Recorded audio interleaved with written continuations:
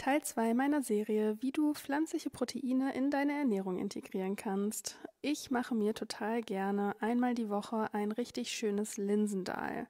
Heute machen wir eins aus schwarzen Beluga-Linsen. Das Dahl kannst du luftverpackt circa eine Woche im Kühlschrank aufbewahren und immer rausholen, wenn dir danach ist. Viel Spaß beim Nachmachen.